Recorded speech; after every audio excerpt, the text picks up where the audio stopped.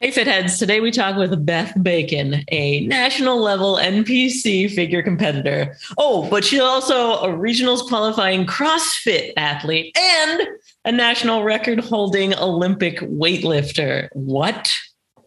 And a nutritionist or like a, a nutrition yeah, expert. nutrition coach. And like it was, it was just like kept going. And I was like, dude, you're so cool. and got bored with, her, with her North Carolina life, moved to Hawaii. Now she li- lives on the sunlight schedule. I'm like, Oh yeah. so much going on in this episode. It was so much fun. and gives great advice. It's really nice to like, you know, here's some tips from a superhero. You know what? Beth Bacon is a really. Did we not ask her the most important question? Are you actually a superhero? That's her totally her pseudonym. We got to call her back. Aloha. Are you um are you Captain Hawaii?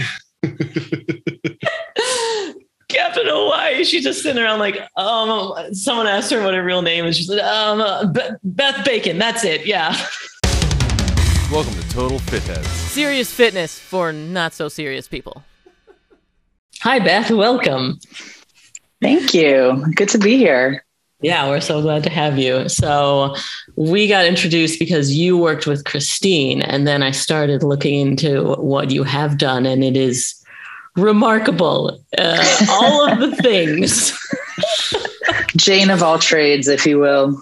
Yeah. Well, I guess can you just give like a background a little bit about you? I don't know if it's going to take two hours or so. we might might be here for the whole podcast. Uh, so I'm a lifetime athlete. I grew up playing sports, played sports all through college, uh, got into bodybuilding competitions after I graduated. Uh, after bodybuilding competitions, I got into CrossFit. And then after CrossFit, I got into Olympic weightlifting, where I've been spending the majority of my time for the last three to four years or so. Um, went to Masters Worlds, came in second place set an American record in the snatch. Um, so not too bad for this old lady, you know? Not too bad. Uh, Fitheads, she glossed over the fact that she was a regional qualifying athlete in CrossFit, didn't just get into it. And, and national level figure competitor, right? That's yeah. So I came in um, came in fifth at Junior USA's in my first year of bodybuilding. your first year. Yeah. all the yeah. the uh, old folks mad at you that have been around a while, like ah, stupid newbie. Well, so they actually compete in, a, in, in just like they have masters CrossFit and masters weightlifting. They have a masters division for bodybuilders as well. So I was actually not, um, I was not with them. So Got it. Okay. Yeah. That's awesome. And so now you're also coaching, right? Yes. Yep. So I have been just an avid follower of the fitness industry for a very long time. My mother is actually an RD. Um, so I grew up with somebody who is very intelligent when it comes to nutrition and how to fuel your body for performance. Um, and I worked for a company called Lean Bodies Consulting for about two years before my husband and I decided to open our own business, Maui Athletics. And we've been in operation now for about three years. That's awesome. Maui, you're in Maui. Hawaii. I didn't know I am in Hawaii. So cool. Is it easier to be fit in Hawaii? It is actually. I mean, I the amount of steps that I take since moving here has gone way up because it's just it's so nice to be outdoors. So I'm always finding 10 minutes here or there where I can go outside and walk the dog and just kind of get some sunshine and fresh air. Yeah, It's a good. that's fit. awesome. Yeah. S- Step something that you stress with your clients. Yes.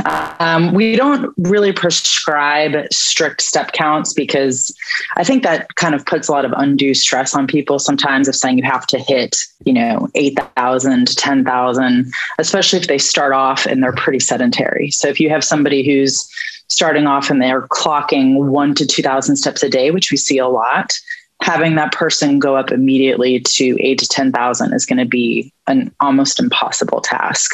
Um, but we do really encourage taking baby steps, no pun intended, towards raising that step count over time, just taking little opportunities in their day to move around more because that NEAT, that non exercise activity thermogenesis, makes up about 20 to 25% of your daily calorie burn, which is very significant. Your workouts, as an example, only contribute to about 5% of your daily calorie burn. So the amount what? that you move around, yep, the amount that you move around over the day. So, you know, talking with your hands or fidgeting or kind of tapping your foot, all those types of things comprise what we call non exercise activity thermogenesis. And all of that movement, which includes taking a leisurely walk, makes up about 20 to 25% of your daily calorie burn. Walking is one of the most underrated ways to stay fit and healthy. Yeah, wow.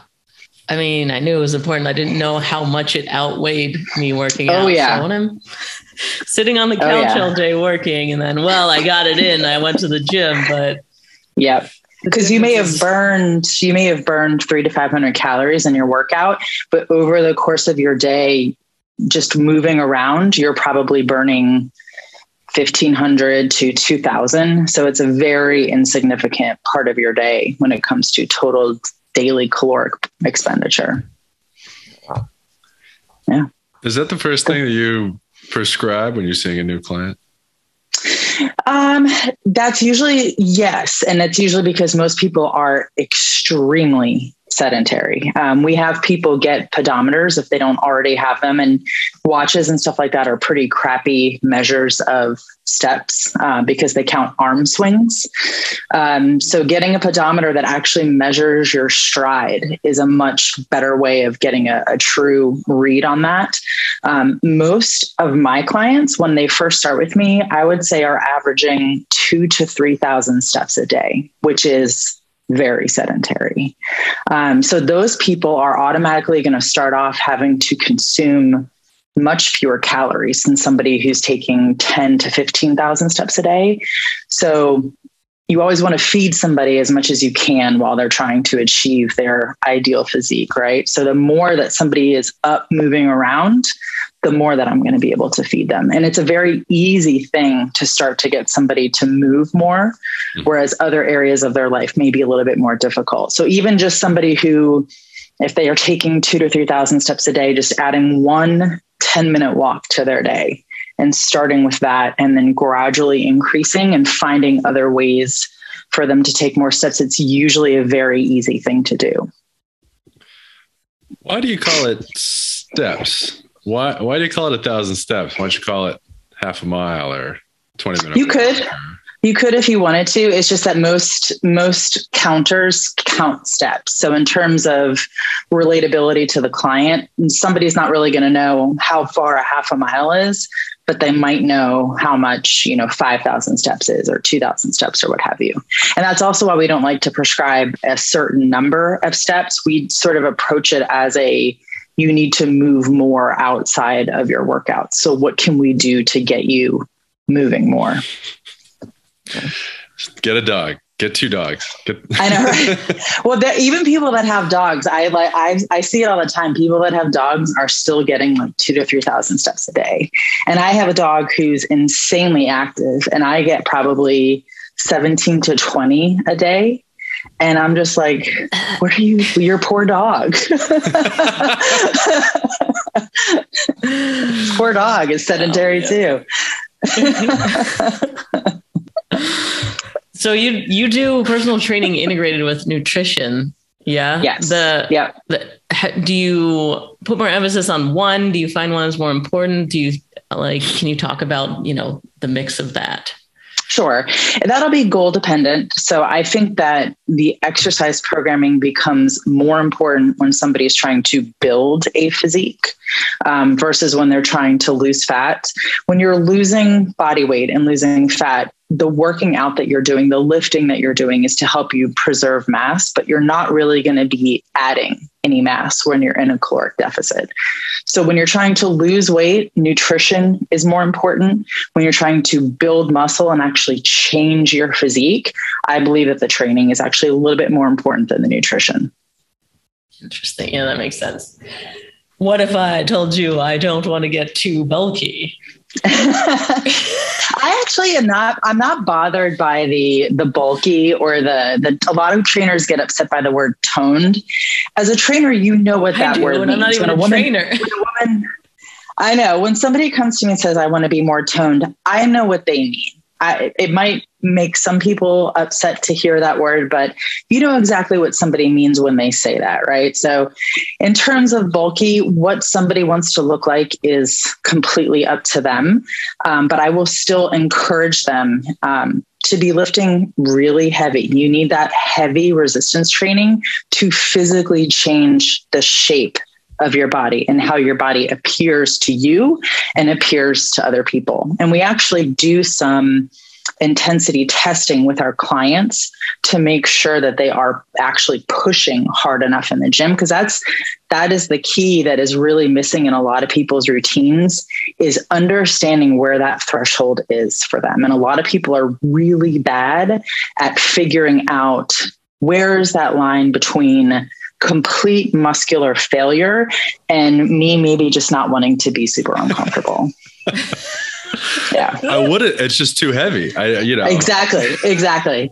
And it happens a lot. Like I had a client a couple weeks ago do some intensity testing. And the way that we do it is let's say on your upper body day, I've given you three by eight seated dumbbell shoulder press. I'll have you warm up. And then whatever weight that you normally use for your your last set of your three by eight. So let's say it's a 25 pound dumbbell. I will have you take that 25 pound dumbbell and go completely to failure. Your form can degrade. When I say failure, I mean literally complete muscular. You cannot physically lift that weight one more time. If you get any more than nine reps, you're sandbagging. And a lot of people will, a lot of people will get 13, 15, 16 reps. And so I'll say, you need to go up to a 30 to 35 pound dumbbell when you do these moving forward. Interesting. hmm And that feeling, I think sometimes too, for people that have never really felt what true muscular fatigue feels like, it's a light bulb moment for them to say, okay, this is actually how I don't need to be this uncomfortable, but I need to be more uncomfortable than I have been. I think sometimes when your muscles start to burn when you work out, people are like, oh, you know, I'm nearing failure when it's really just your muscles burning. You're not actually nearing complete muscular failure, and you have to push through if you want to actually change how your body looks. So the psychology. What about going too far to failure? What are your thoughts on reps? yeah, you can you can do that as well. We typically have people stay within one rep in reserve, um, knowing that people are probably going to actually be two to three. Um, so you don't need to take things to true muscular failure. Um, they've actually it's supported by science that you don't need to take things to that point every single time. Um, you should be about one to three reps in reserve if you're talking about physical changes to the body and adaptations to the muscle tissue. So you don't have to kill yourself every time. but Maybe just every other time. I know, right? Yeah, right. it's also mentally easier because I, I feel like it's so hard for me to find that point where like was it hard enough i know i could do more so if you just go to i can't do anymore i guess i did enough Right, right. But then, so my question then would be if I had somebody that was struggling with that, is how are you recovering? So are you able to, i'm yeah. sore right now So, so that that's sort of what you need to look at is then how does that affect your next day workout or your two days from now workout when your DOMS is really atrocious. So that would be something to look at with then to be to see how that affects your recovery because that will affect your ability to progress as well. Yeah. Okay. Yeah, and can we talk about this like m- muscle strength and and building into older age? You know, I Sure. I worry about sarcopenia even now. Yeah, I mean, it is as as women age, in particular, with the changes in estrogen that we go through. It is super important to maintain the amount that you're lifting. I'm actually reading a book right now called The Menopause Manifesto, which is written by Dr. Jen Gunter. Um, she's a phenomenal Instagram page. She's a great resource for women going through menopause. But she talks in her book about the importance of resistance training as you're going through or even approaching that menopause transition as you age into your 40s and 50s.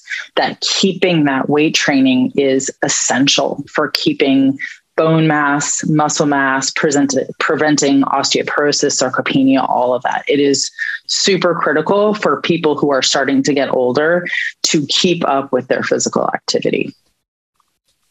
And have you found that there's pushback with that too? Maybe not the bulky problem, but just women at that age not thinking it's important or not wanting to do it. I think they think it's not important. And there's also some messaging that I've seen um, as I've been going through this myself. There's messaging that you're not supposed to be working out in a super intense manner, that it spikes cortisol and all this kind of stuff that then makes you retain fat. And there's this fear mongering in general around maintaining intensity in your workouts as you approach and go through menopause. And there's literally no science to support that. Most of what we're seeing in that space is anecdote. So it's people just saying that they don't feel as good or, you know, they're gaining weight when it could be 100% unrelated to working out. It doesn't even touch what they're eating. So I haven't seen anything in the data that suggests that intense workouts spike anything that's going to then result in fat gain and adiposity there's nothing that supports that. Okay. I'm going to keep lifting then. That's right. you have to keep lifting. it feels Can like there's we- always something that's like some weird far-fetched story that talks people out of working out intensely. Yeah. Have Yeah. you found that sort of across the board or is you know is is your job managing overcoming excuses or is your job uh, or how much of that plays into it? I see it. I don't see a ton of that. I will be honest. Um, I think a lot of a lot of times people just let their own excuses kind of cloud their judgment when it comes to what they should or shouldn't be doing, or they're having external pressure from a significant other or friends or family or what have you. Um, that's kind of what I've seen in in my job currently. Yeah. Um, do people come to you on keto or low carbs? I'd love to hear what you think about that. Perhaps whole 30 fat diets in general. I, I hate it all so much. Um, but no, and, and honest, like my, my one takeaway is if it is sustainable for you, I'm going to be an advocate of it. So I have yet to meet anybody who is a top performer who exerts themselves in a very high intense manner who is able to sustain that for years. I'm talking years and years and years on low carb and keto. Um, again if somebody can maintain it and they have success with it and they truly enjoy eating that way i'm all for it because the most the best diet is the one that you are going to adhere to and stick to all the time without any issue. Um, whole 30, I, I actually did whole 30 when I was a CrossFitter. I was, you know, all the paleo, I drank the Kool-Aid when I started CrossFit, right? So I did paleo, I was all indoctrinated. Um, and I felt like crap pretty much at all times. Um, I've done I've done the whole 30 thing. Um, I think sugar is largely fear mongered. Um, that's not to say that everybody should be out there eating donuts all day, every day, but sugar is not addictive. There are no addictive properties in sugar. You don't see anybody sitting down with a teaspoon eating right cane sugar out of a jar. It just you don't see that.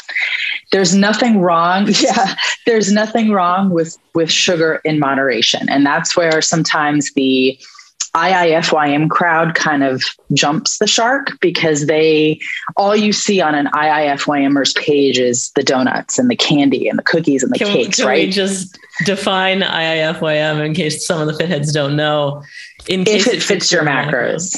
Yes, if it fits your macros. And I was actually, I this is the the chat that I had with Christine um, in one of her biweeklies was how IIFYM actually came to be. I was around when the term was coined. Yes. So IIFYM came to be from the bodybuilding.com forums. I don't know that many people know that. So back in the day, people like OG Alan, bros. Yes, people like Alan Aragon, who I don't know if you know Alan, but he's probably the number one nutrition researcher in our field. His name's Alan Aragon. Um, he was a moderator on the bodybuilding.com forums and the nutrition subforum. And he would have bodybuilders coming in all the time saying, I'm really tired of having oats for breakfast today. Can I just have a piece of toast? And he would say, Sure, if it fits your macros. Or I am tired of tilapia. Can I have chicken? Sure, if it fits your macros. So over time, he got tired of saying, if it fits your macros. So one day, in response to a question, he just typed IIFYM and poof, there it was. It's But so IIF not catchy. I know. IIFYM it's actually. no LOL, that's for sure. it actually came to be a way for bodybuilders who are on strict competition prep diets to sub one food for another as part of their super restrictive meal plan. What it has turned into is a complete I don't even know. I don't even recognize it now, to be very honest with you. I see people playing macro Tetris, hoarding macros for the end of their day so that they can have those gross macro bowls. Um, people making ice cream out of friggin' cauliflower. Like it's just, it's turned into this abomination of what the original concept was intended to be, which was switching one whole food source for another, not if it if I can fit a donut, I should. Like that is not the intended purpose of it. And as with everything in our fitness industry, there's you always have the extremes, right? So you have paleo, keto, whole 30 here, and you have IIFYM here. And really, we need to be meeting in the middle. And that's really what Alan and I do with our company, Maui Athletics. I mean, we teach people how to make the majority of their diet whole foods that are nutritionally dense, right? So you're talking fruits, vegetables, lean meats, non fat dairy. I mean, all things that everybody should be eating in abundance. And then when you go out to eat, how do you approach that meal so that you can enjoy something that you don't normally eat without having it turn into this binge fest? Because usually when you're whole 30 keto paleo you're talking restrictive right? So what's the first thing that people on paleo keto et cetera what's the first thing that those people usually binge on? It's carbs right?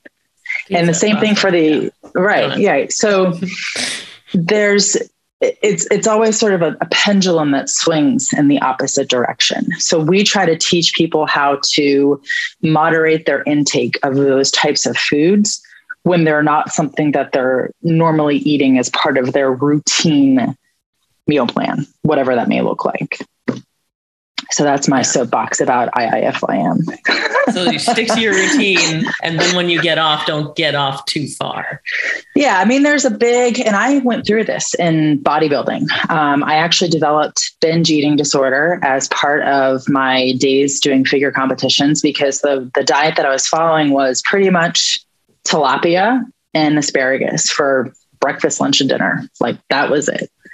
Um, so that talk about super restrictive, right? So what did I do after a show? I binge ate everything in sight, everything. And there was no stop. Like the hands kept coming to the face, and I could not stop myself from binging on those foods.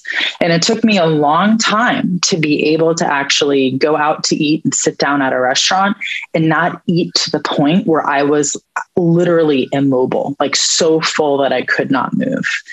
and that's what we see a lot with these people who follow super restrictive diets is they do develop bad binge eating disorder because they don't have any foods that they truly enjoy as part of their daily diet that sustains them and they almost always will end up binge eating yeah did you I mean, sure, people keep it close to their heart, but did you come across this with other competitors? Is this? Oh, yes. It feels like it would be common. It is very common. And what's interesting is it's not talked about a lot. Uh, at least it wasn't when I was competing. It was kind of the hush hush side of the industry. Um, I, it is extremely common because the diets are so restrictive and so low calorie. I mean, you get to the point where you're nearing your stage date and uh, you're eating maybe 800 calories a day. So, I mean, think about how hungry you are. Well, I would just chug a bunch of water. Oh, wait, you can't. you can't. Yeah, and that's, that's crazy. There's there's really there's some interesting psychology around it too. Um, there's a study that was done called the Minnesota Starvation Experiment. If you've never read it, it has some very scary parallels to the physique industry um, a bunch of men were essentially starved. They were given five to 800 calories a day for six months at a time. And they, I mean, it's an unethical study in today's society. Would not pass any institutional review board. Um, but they studied these men and kind of what happened to them, uh, both physically and mentally. And some of the things that the participants in that study displayed are eerily similar to things that bodybuilders and competition prep display. So, for example, um, in the experiment, they found that these men would constant, constantly be looking at pictures of food. So, people joke about food porn, but the bodybuilders, I would watch Food Network for 12 hours a day and just sit there and stare and drool and salivate like Pavlov's dog watching it. I would and probably release insulin too. I've heard that maybe. That, yeah, that's possible. and I would um, meal time started to become ritualistic. So I would start to. Um, I had very specific times of the day that I would sit down to eat, and if I was plus or minus five minutes from that time, I would start to get visibly agitated. Um, I also used to pace back and forth in front of a microwave as my food would heat up. Um, and then towards the show day, I started to hoard food. So I would go to the store and buy cases of brownies, cookies, donuts, Pop Tarts, like literally everything that I hadn't had. And I had a picture of it that I posted on Facebook, like it was, you know, my prized possession of my food hoard. And I didn't think anything of this. And looking back on it, I'm like, horrified that I made this post on social media glorifying this. And it it was literally my bed was covered in food and I ate all of it. all of it. Yep. Did you ever make I a gained, list of things that you were going to eat when you were? No, I didn't do. I didn't go that far um, because as I would think of it, I would just go buy it. but I mean, I probably consumed. I would say probably ten thousand calories in the course of a day, like without blinking, and I gained thirty pounds overnight. Like overnight, it, it's a horrifying experience. Horrifying. Max, yeah. you're nodding. Have you come across this in the wrestling community? He's, uh, he's also I've, cut weight, but for wrestling, so I'm sure it's very different. But so it was well, it was for a different reason, but it was the same stuff. Everything you're describing, yeah. we used to do all the time. Um, I would hoard stuff. I would have a, you know how people have like vision boards. yep. so yep. I made one of those, but for stuff I was going to eat after weigh-ins or whatever for food. Jeez. Yeah. I would watch, I really, really love watching my friends eat their lunch or dinner or whatever. That was really sort of bizarre. I just got, yeah, you know, and you're like, oh, it's no big deal. This is just, it's just cause I'm doing it. And then months or years, you get some perspective on it. You're like, what, what was I yep. doing? Why yep. was I, why was that 90% of my brain space or day or whatever? It was very odd But it's yeah, we see that a lot in the weight in weightlifting too. When when people have to make certain weight classes, a lot of the uh, the female weightlifters in particular who are dropping multiple classes and doing saunas and all that type of other nonsense that you shouldn't have to do. Um, we see the same types of behaviors in those women as well, and it's just it. The psychology behind it is it, it fascinates me. I would actually love to take some courses in it because it your brain and your body you always kind of want to get back to homeostasis, right? So all of these things that your brain is telling you to do. So watching people eat, watching Food Network, it wants you to eat. It's trying to get you to eat. It's trying to get you to survive. And that's, I mean, that's part of the mechanism of getting back to homeostasis is your brain kind of doing these things to you. I mean, there's there's so much psychology behind just dieting in general that people most people don't really think about it. Your brain is always going to try to get you to homeostasis always. Yeah, and how much brain space it takes up. Like Max, you kind of touched on this that you there's so much you're not doing throughout your day because it's it's just taken up by the fact that you're thinking about food or the next Yep. time you're going to eat. And Yeah. that to me was a good indicator that it was an unhealthy, you know. Whereas now when I find I, I'm eating well, I just I, I don't really think about it much. I don't have these gluttonous, super sat- satisfying, I guess, meals or whatever. But I'm like, oh yeah, I ate a nice lunch. That was fine. Now I can move on. To Right. and that's that's that's in a, I guess in a mental spot that felt a lot more healthy than these. Yes. Absolutely. What was- And it was is interesting- weird.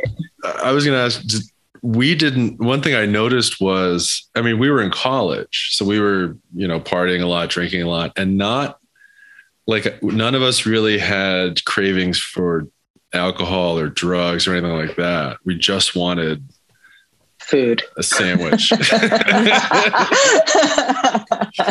thought was a weird byproduct. Yeah, it is interesting.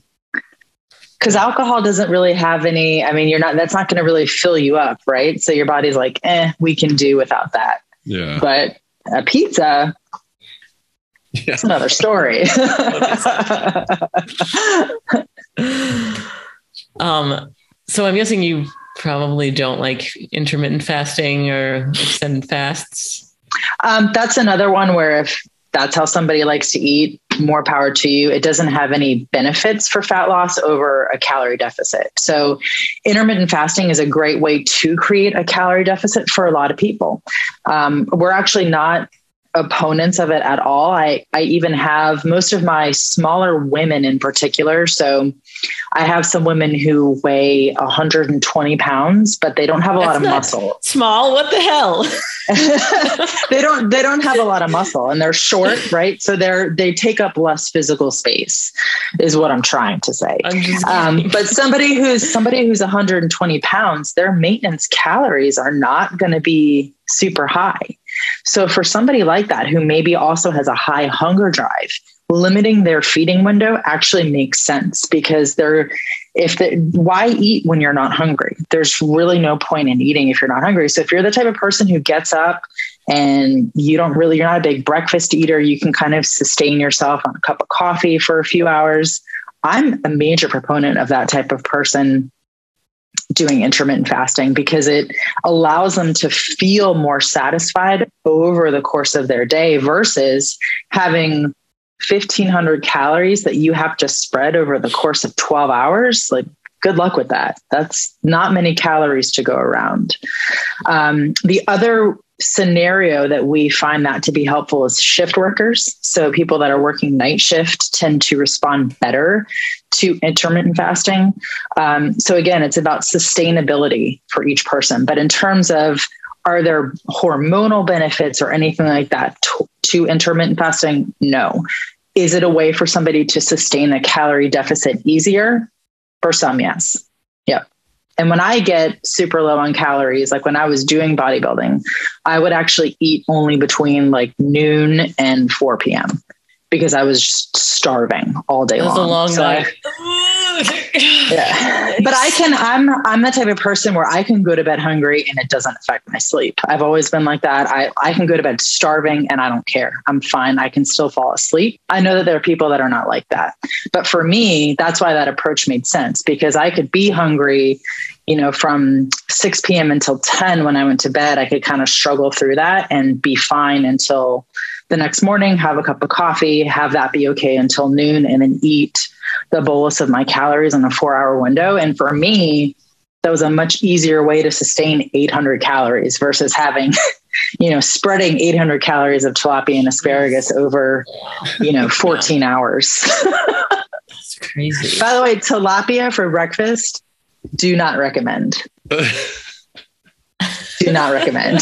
Where's Where's my pen? I gotta write that. so disgusting. okay. So, then can we talk about the transition then from bodybuilding to CrossFit? How did you go over to the dark side or the other dark side and then a fall, leave that dark side? I actually, so I actually think it was for a guy. Um, and that relationship ended up not working out probably for the best. Um, but I started to date a guy who was into CrossFit and, you know, the bodybuilding community loves to talk crap about the CrossFit community all the time. And I was like, let me go see what this is about instead of just talking trash about it. And the first workout I did kicked my ass. It just totally kicked my ass. I loved it you know, as a former soccer player, track person, like I, I like that feeling of having a, you know, something that kind of kicks your butt like that. Um, so I got into it and then, mm, you know, sort of started to make friends at that gym and started to get competitive with it, realized I was good at it. Um, and so I started to sort of do more competitive type of programming, got decent at it um, and loved it. I I'm one of those people who I think training modalities there uh, you should do everything. You should do a little bit of everything. You shouldn't really pigeonhole yourself into into one thing. And I think CrossFit is a great way to explore gymnastics, like things that you would not be doing as an adult. Um, it's a it's a great way to expose yourself to different things. And the people that the people that talk trash about it, I find don't they they've never done it themselves usually right? So they don't see what goes into a kipping pull-up. They don't see the number of strict pull-ups that that person has done to achieve a you know a, gorgeous butterfly kip. They don't see that that type of work. Um, so i understand why some of the hate exists. I have my own um, issues with CrossFit and some of the programming that I see. Um, and the lack of standardization of programming is probably my biggest issue with it in general. Um, but as a way to get people fit and to get people excited about working out, I love it. I'm I want people to find something that they enjoy that is physical. I don't care what it is. I don't care if it's running. I don't care if it's CrossFit. I don't care if it's powerlifting. I don't care if it's Olympic weightlifting, boxing, you do you. Just as long as you're being physically active, that's what I want. Yeah, if you were doing track and soccer, you said, then I imagine you like the competitive part of CrossFit. Yeah. Yeah. Yeah. I was on a team um, from 20. When did I join that gym? Um, CrossFit Sua Sponte in Raleigh, North Carolina um, from 2014 to 2018. Um, so we qualified for regionals twice, actually. Um, our coach did not send us. We qualified, but we did not go. Um, so we qualified two years in a row, and our coach opted to send two of our individual athletes, which was kind of a hard pill to swallow, but we qualified. We qualified. I can't imagine crossfitting with other people like collectively. to Yeah, have we had a- rely on me and vice versa. We had a really good we had a very well-rounded team. So we had a couple of barbell what i would consider barbell specialists myself among them. Um, but we could hold our own in the gymnastics realm. Like i can walk on my hands i can do ring muscle ups i can do all that stuff. But as a bigger athlete it that stuff is harder to do because you physically weigh more. Mhm. um, but we we had really good gymnasts. We had barbell cycling experts. We had people that had insane engines. Like we had a guy in our team who i watched his heart rate on his heart rate monitor go down while doing wall balls. Like i don't That's his rest. yeah. I mean in what world or do wall balls become your rest? I have no idea. But for him like he could just plod away with like a 160 to 170 bpm heart rate and just stay there i he was not a human so that's Pretty cool. yeah Team. Okay, so barbell we had a good team. specialist. Let's let's talk about now doing the Olympic weightlifting. I that was what I love the most about CrossFit was the snatch and the clean and jerk. Um, I just I don't know. There's something about the the technicality of it, but also the the grace. So you do have to sort of be nimble and agile and light on your feet, but aggressive and assertive at the same time. And there's something that just I find a very well executed snatch in particular to just be a thing of beauty. And I really enjoyed my time learning how to perfect those lifts and all the little intricacies and minutia that go into it. Um, I loved it until I didn't. and uh, I love to coach it now. So I don't like to do the lifts myself anymore. I kind of got a little um, burned out on it, but coaching Olympic weightlifting is like that's what makes my heart the happiest. Yeah, that's crazy cool. I, I totally agree. It feels like I don't know, aggressive ballet. That's like Exactly. I mean, it it is especially when you watch those um, those hook grip videos on Instagram where they show them in slow motion and just they're beautiful. I mean, they're just uh, they're the the fact that the body is capable of doing something like that. I don't even know who invented the snatch and why somebody decided that was a good idea in the first place, but it turned out it turned out awesome.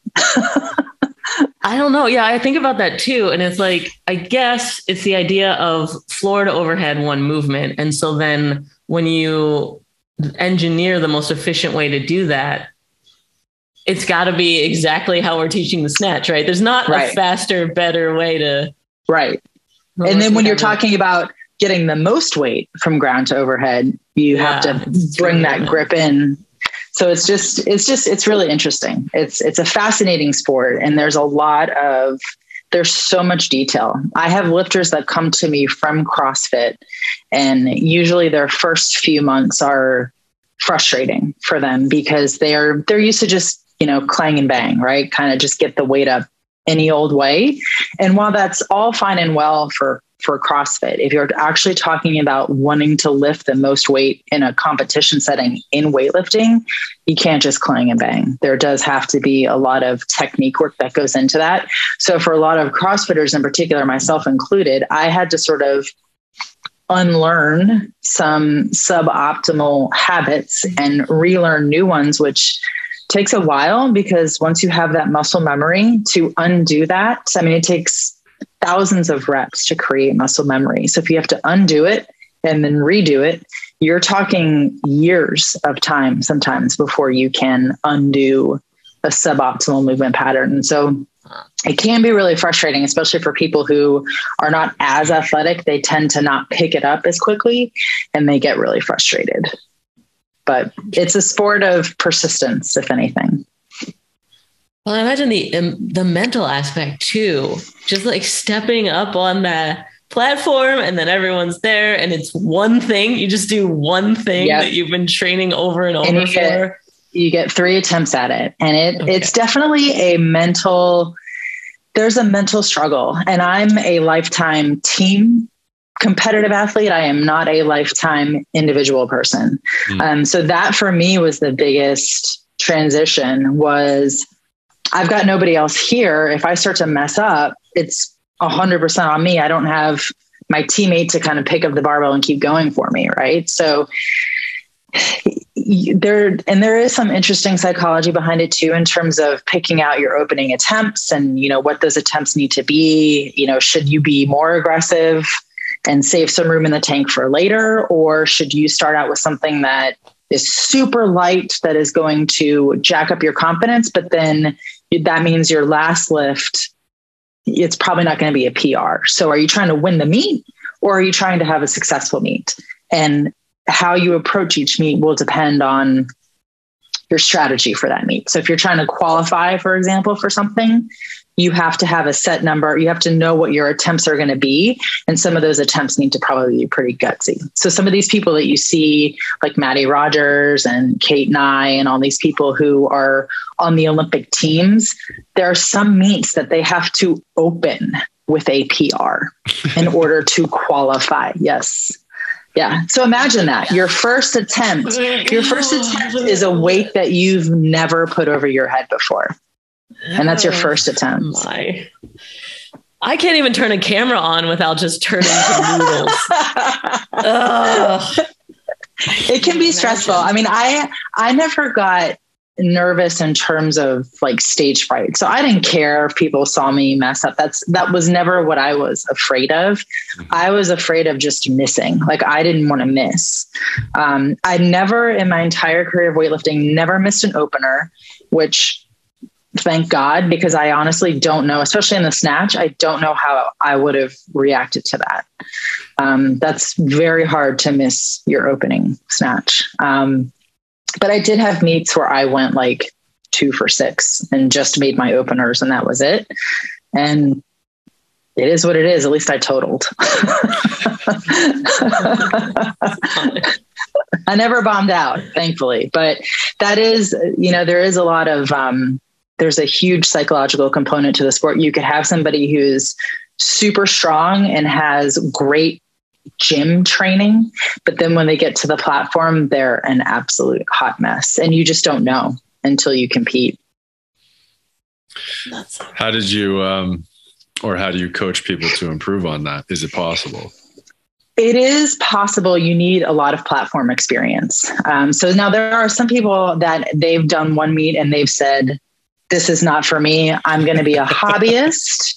And that's cool because that person knows themselves, right? They know this is not the setting for me. I am not going to thrive here. I just want to do this and have fun. Um, there are other people who hit the platform and love it and become addicted and just want to do meet after meet after meet after meet. And I find that person to be more difficult than the person who has a little bit of stage fright because the people that just want to keep constantly doing meets are never really going to get the opportunity to develop as a lifter if they're constantly in a meet taper. So it, it just kind of depends on the person knowing themselves. But the stage fright and the trepidation about being on the platform usually gets better with each meet that you do. You just have to be willing to kind of put yourself out there. Yeah. Yeah, there's. It feels like you can't train that. I mean, you can turn a camera on, which still messes with me, but you really can't train that feeling. You just have to do the actual thing. There's no yep. accessory work for exposing yourself to uh, a meet. right.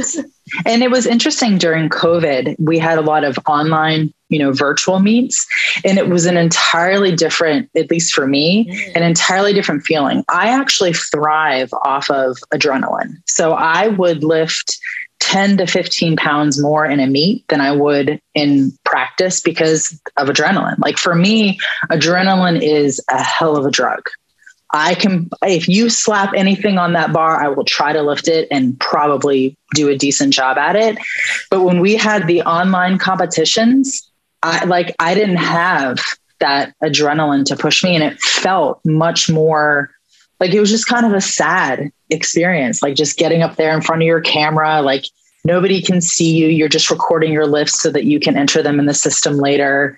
Like you don't have other competitors that are you know you're watching them you're wanting to beat them. It's an entirely different scenario on an actual platform versus that virtual platform. And part of the reason that i got burned out on weightlifting was because of all that virtual stuff. I hated it. I absolutely hated it. And for a long time especially for the masters because masters folks are immunocompromised for the most part we weren't traveling anywhere. Mm. So everything was virtual and there was no end in sight for it. So I was just kind of like, I don't really want to do this anymore. And the online thing just got really old to me very quickly.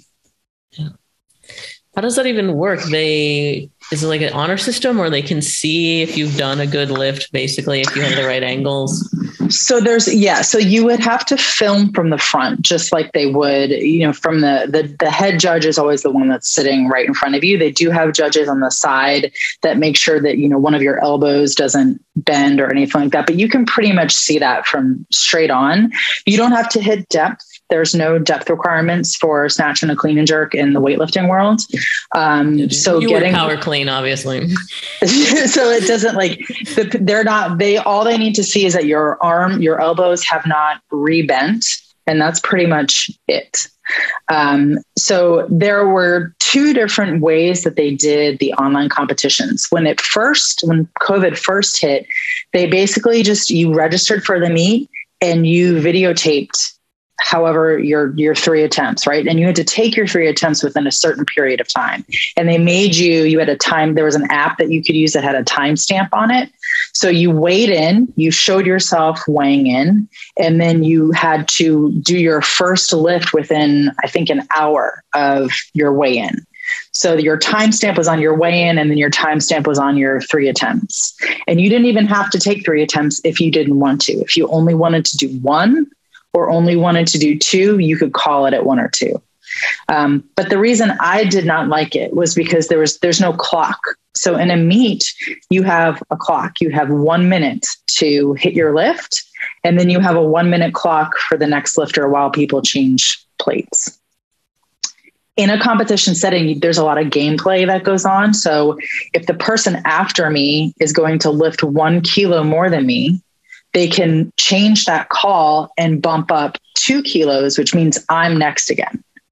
So I now, I just lifted and I now only have one minute of rest versus two or potentially even three.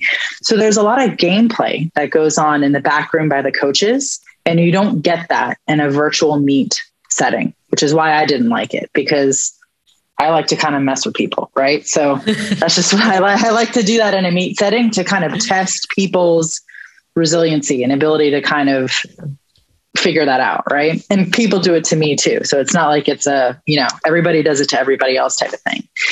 Um, later as covid progressed they did start to make the meets online. So you could actually see everybody's like you sort of logged into a system and you could see all the lifters lifting and you had a clock um, I didn't do any of those because you would need a coach with you to to do that.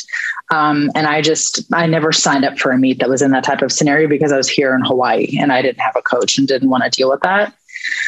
Um, but they did try to make it more realistic as COVID progressed so that it was more meet like in that scenario.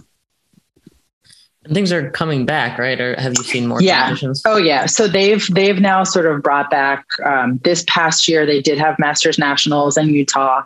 Um, they canceled Worlds um, in Japan, which is kind of when I decided to stop. Um, but I think they're going to do Worlds next year in Florida. But for me, at this point, it's I'm kind of over it. And to travel back to the mainland to Florida to do a meet from Hawaii is just, nah, ain't doing yeah, it. Would, Japan would have been pretty. Performance. Yeah. I mean, Japan would have been a not bad trip, but to fly to, you know, Orlando, Florida from Maui, Hawaii is just I'd have to go like a week in advance to acclimate myself to the time, and tickets are three to four thousand dollars each way. Like I'm just mm, not doing it. Yeah, it's a hobby, right? So I'm not, you know, I'm not going to do that to myself financially or physically for a hobby. yeah.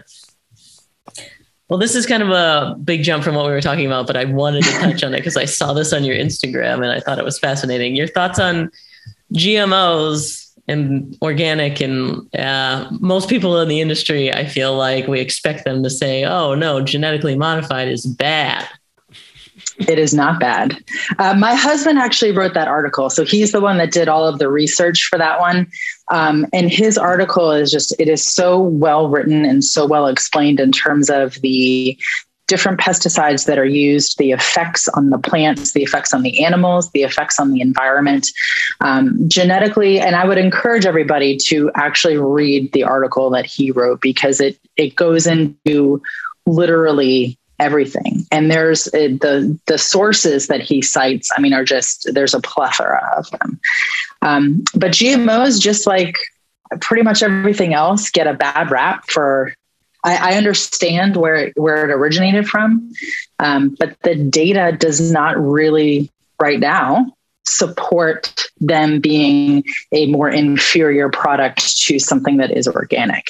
Now, I will tell you here in Hawaii, organic is often cheaper than conventional. Yep. So we sometimes do buy organic here only because it's cheaper. And because everything here is pretty much organic and there's not much that's not organic. So because of the the supply of organic is greater here, it's actually often cheaper. But I I sort of classify GMOs as the same way that I do sugar.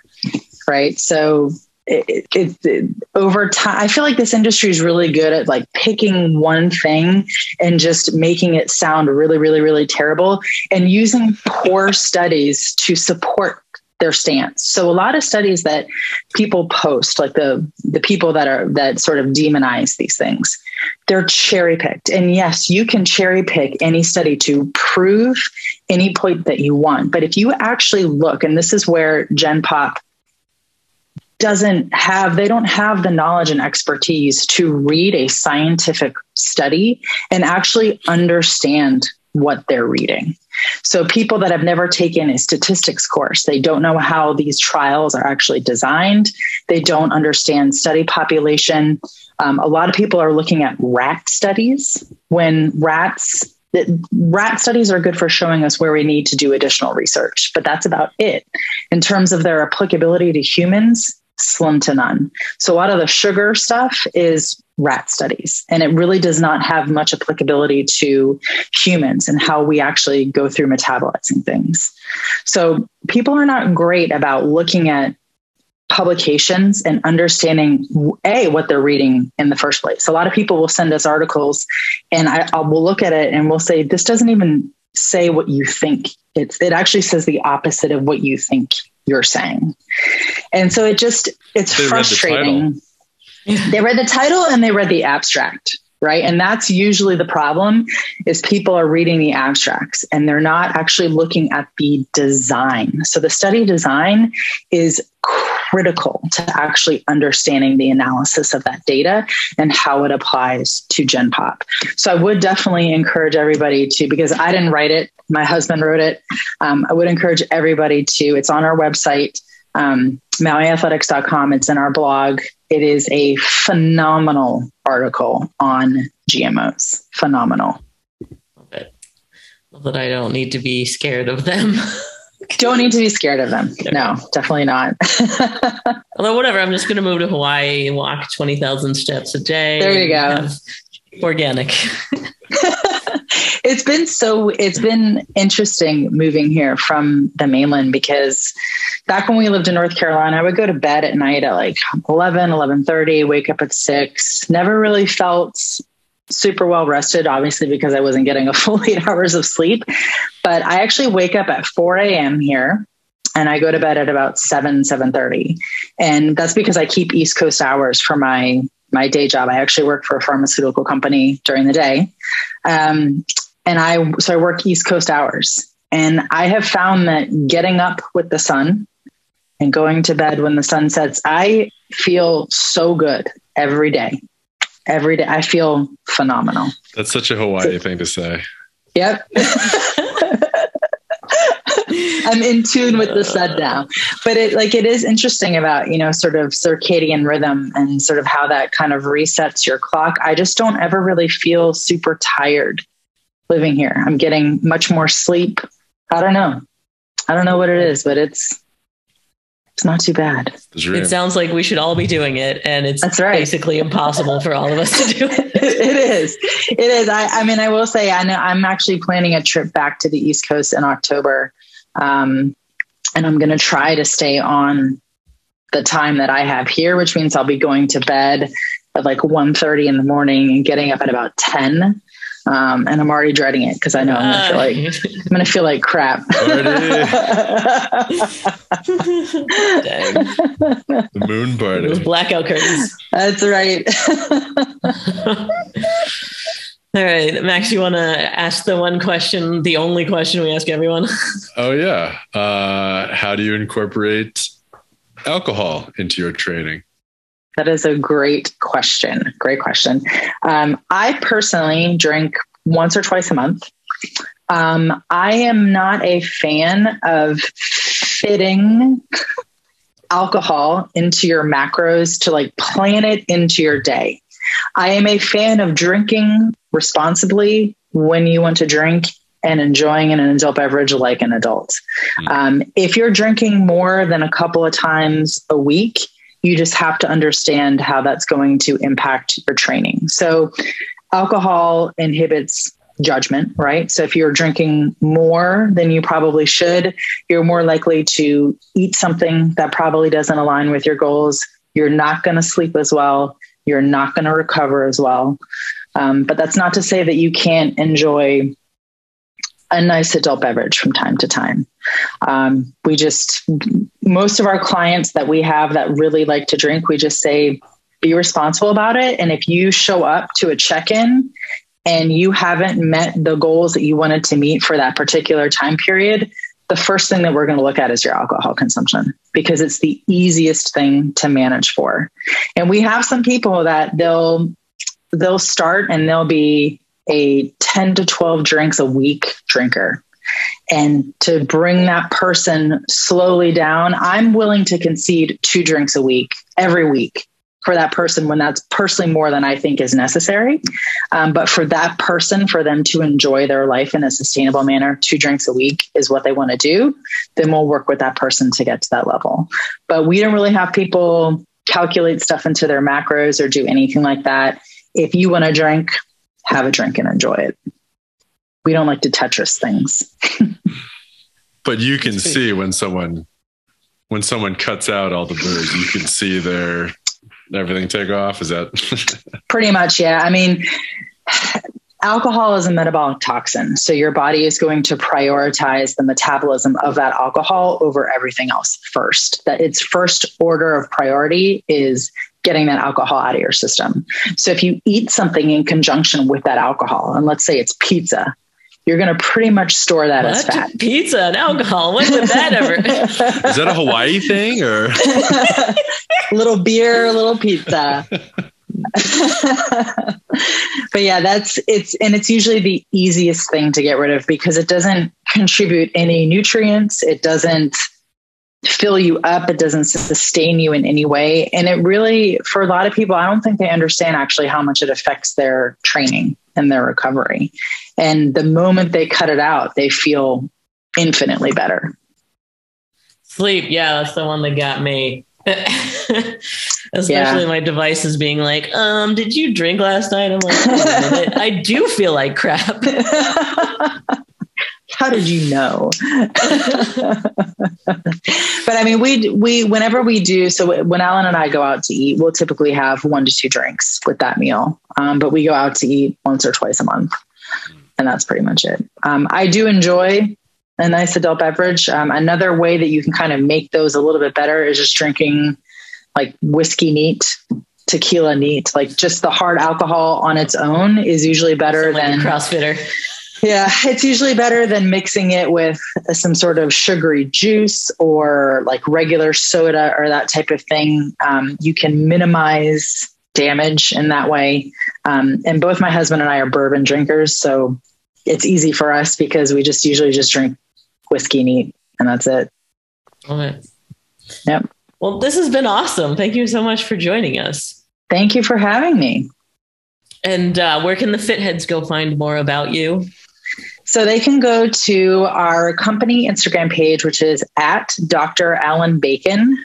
Um, my Instagram page is at bpbacon13, and our website is mauiathletics.com. Awesome. Love it. And thank you again. Thank you for having me. I had a great time.